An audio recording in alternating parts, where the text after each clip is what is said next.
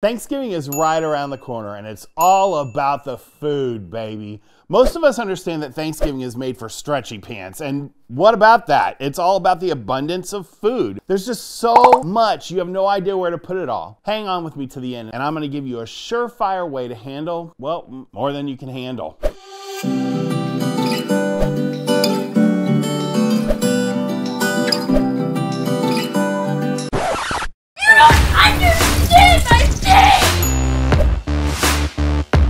Sometimes we get invited to a party and it doesn't quite go as we expected. Like 50 yeah. blow-ups in the front oh, of the room. Yeah. Oh, Beth, I forgot to you. I am so sorry.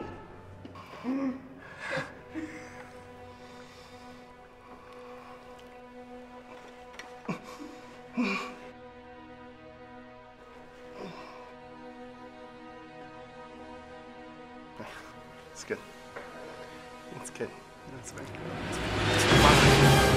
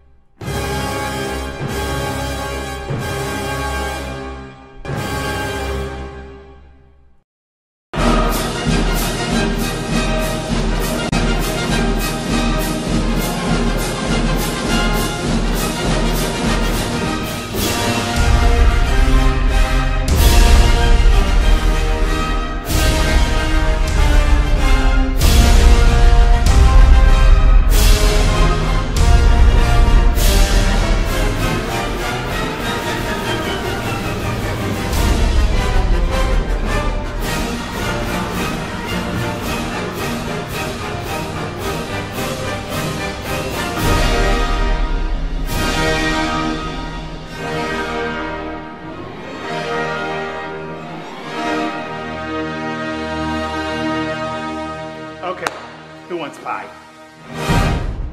By the way, my hair smelled like ketchup for days. 10 out of 10 do not recommend. Sometimes we're brats, right? We throw fit or our food and we don't practice gratefulness. And we definitely don't live a life of abundance. A life Jesus so desperately wants to give us. And sometimes, let's be honest, we're just arrogant jerks. Let's take a quick look at a story in scripture where some folks missed the opportunity of a lifetime because they well, you'll see. Hey, and if you're interested in exploring the meaningful life that these people are about to miss, you can check out this video right here. If not, we're jumping over to Luke. Luke's in the New Testament, so probably about mm, two thirds of the way through a paper Bible. Luke was one of Jesus' followers, a, a really close one, and a doctor, so he writes a really detailed account of his hang time with Jesus. This is one of those stories, and it involves Sassmouth Jesus, who I love. I love brass tacks Jesus, like, oh, I love that journey for you, and then pow, he brings him the truth. So Jesus was teaching about humility and using this big feast as an example, not taking the best seat in the house, stuff like that. And one of the guys listening basically says, man, I can't wait for the banquet up in heaven. And Jesus goes stone cold killer on everyone listening. I gotta love that. So we're in Luke 14 and we're starting in verse 16. Jesus replied with this story to the guy who was excited about the big buffet in heaven. A man prepared a great feast and sent out many invitations. When the banquet was ready, he sent his servant to tell all the guests, Come, the banquet is ready. But they all began making excuses. You can screenshot those excuses for yourself. They come from Luke 14, 19 through 20. Jesus is using a parable here. We've talked about those before. Basically, it's just a, a, a story to illustrate a point. This guy is throwing a huge feast, a giant party. Think New Year's Eve kind of blowout, and everyone's just too busy. And in a minute, we're to see what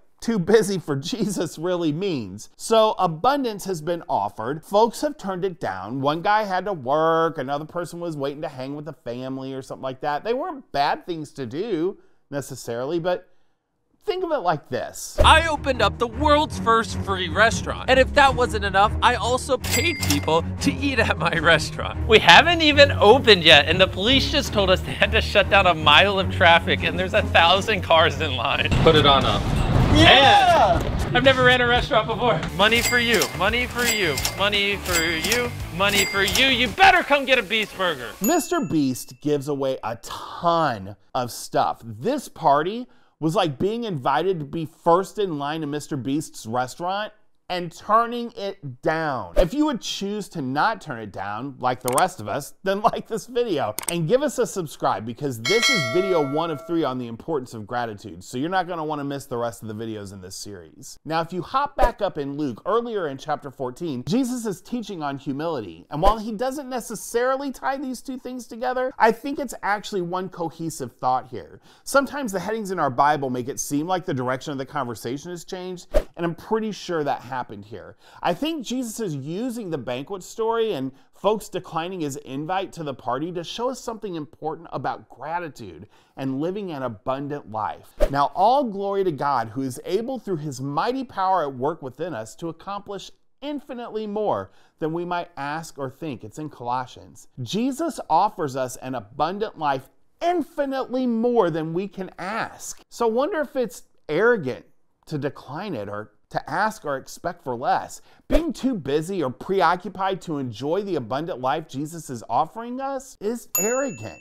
It's arrogant and maybe selfish to think that we can conjure with our own hands something important enough to overlook the party that Jesus offers to us. And another thing, this invite is not exclusive. Take a look at the rest of the passage. So the servant lets the king know of his bros are just too busy, and instead of being sad, he flips it on him. So the master says, Go out into the country lanes and behind the hedges and urge anyone you find to come so that my house may be full. This guy was like, Well, listen, if you're too busy to come, no problem. I'll just invite the homeless folks. Right? Look behind the hedges. Pretty sure they were homeless. I know there are folks who are dying for abundant living. If you guys are too busy, stupid, or arrogant to take advantage of the offer, I know there are people who will. That's what he was saying. Sometimes we choose to live in scarcity.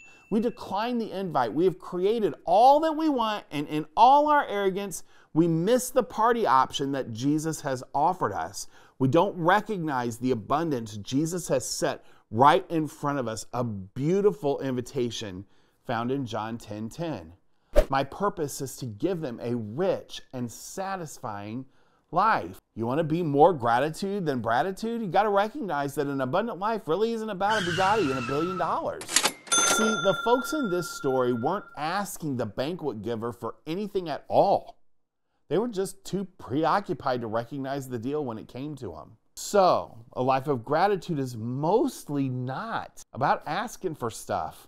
It's mostly about being aware of what's already being offered to us and being wise and humble enough to take it when it comes, to see our life as full turkey dinner with green bean casserole, homemade rolls, and pumpkin pie, even when it's half a hot dog warmed in the microwave on a piece of stale bread. Abundant living isn't measured by what we have, it's measured by what we do with the invite. The folks in this story were not willing or ready to pivot when the invite for something more showed up, so they didn't. Jesus invites us into a relationship with Himself, and we can often be too busy, too preoccupied, or honestly just too uninterested to see it. So often, we miss it. So, what are you waiting for? The key to gratitude is recognizing the abundant life being offered to you and taking a hold of it. It's actually where the rich and satisfying life starts, the one that Jesus said was his purpose back in the book of John. It, it all starts with accepting the invite. Are you looking for that? Is your life more like a famine than a feast? Jesus is waiting to join you to make your life rich and fulfilling. You just have to ask Him. And that's the key to handling more than you can handle. Carrying the load, carrying the load of things that are good and great, and carrying the load when it seems rough. The key is starting a relationship with Jesus. And if you'd like to do that, click the link in, the, in the description and tell us because we'd love to talk to you about it. It's as simple as saying, Jesus, my life on my own is not rich and satisfying. I know I need you. Help me say yes to your invitation. And click the link on the screen for the second video in the playlist titled Gratitude, Our Gratitude.